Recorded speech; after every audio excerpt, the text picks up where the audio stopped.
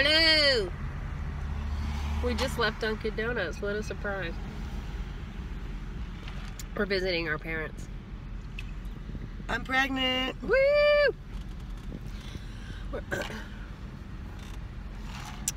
we're visiting our parents, and we literally had to find the closest Dunkin' Donuts. And her mom's like, "Oh, it's really far away." No, there was two within five miles of where they live.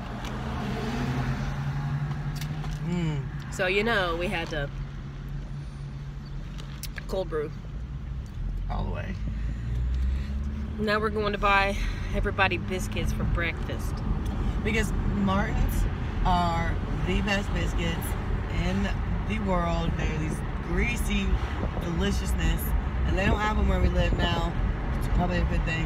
Uh, yeah, But mm, yeah. If they if they had them where we live, we'd be in trouble. But every time we come here, we always have to get it.